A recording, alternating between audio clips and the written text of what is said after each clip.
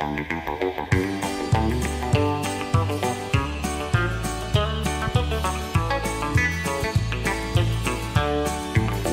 better let your fingers do the walking through the pages of God's Word. You better read it for yourself.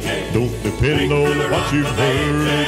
How He rewards the faithful, but the wicked shall be burned. Let your fingers do the walking through God's Word. Now and you've heard that. Everybody is saying this is where it's at. So now there is only one way left. Well, you better not depend on what you've heard. You better take a closer look at the Holy Word. If you want to be sure, you better read it for yourself.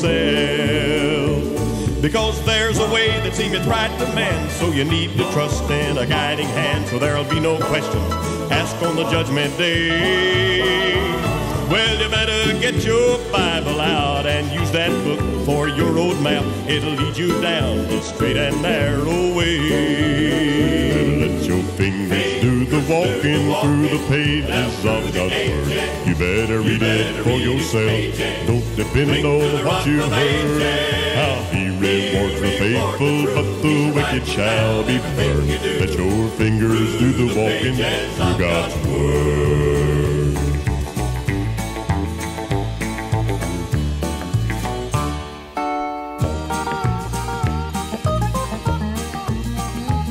If you're searching for the answer to just how and why and maybe who, and you're afraid of how it's all gonna end, well, there's no need to stay awake when a walk through the pages is all it takes. It'll ease your mind so you can sleep again.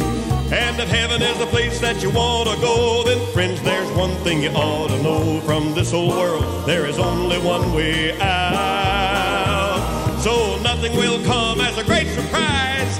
If you've already read the book with your own eyes, all you gotta do is look at it, and there ain't gonna be no doubt. You better let your fingers do the walking through the pages of God's Word. You better read it for yourself. Don't depend on what you've heard. How He rewards the faithful, but the wicked shall be burned. Let your fingers do the walking through God's Word. Let your fingers do the walking through God's word.